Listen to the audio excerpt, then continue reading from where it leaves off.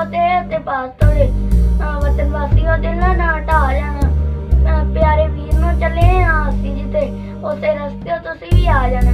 ਧੰਨਵਾਦ ਬਹੁਤ। ਨਾਮ ਸਿੰਘ ਹੈ। ਮੈਂ ਛੇਵੀਂ ਕਲਾਸ ਦਾ ਵਿਦਿਆਰਥੀ ਹਾਂ ਮੈਂ ਤੁਹਾਡੇ ਸਾਹਮਣੇ ਇੱਕ ਸੰਦੇਸ਼ ਭਗਤੀ ਦੀ ਕਵਿਤਾ ਪੇਸ਼ ਕਰਨ ਜਾ ਰਿਹਾ ਹਾਂ ਹਿੰਦ ਰੱਖਣਾ ਯਾਦ ਸਾਨੂੰ। ਕਿਤੇ ਦਿਨਾਂ ਤੋਂ ਨਾ ਭੁਲਾ ਜਾਣਾ। ਖਤਰ ਵਤਨ ਦੀ ਲੱਗੇ ਹਾਂ ਚੰਨ ਵਾਂਸੀ। ਸਾਨੂੰ ਦੇਖ ਕੇ ਨਾ ਘਬਰਾ ਜਾਣਾ ਸਾਡੀ ਮੌਤ ਨੇ ਵਤਨ ਦੇ ਵਾਸੀਆਂ ਦੇ ਕਿਲੇ ਵਤਨ ਦਾ ਇਸ਼ਕ ਜਗਾ ਜਾਣਾ। ਦੇਸ਼ ਵਾਸੀਓ ਚਮਕਣਾ ਚੰਦ ਵਾਂਗੂ, ਕਿਤੇ ਬੱਦਲਾਂ ਹੇਠ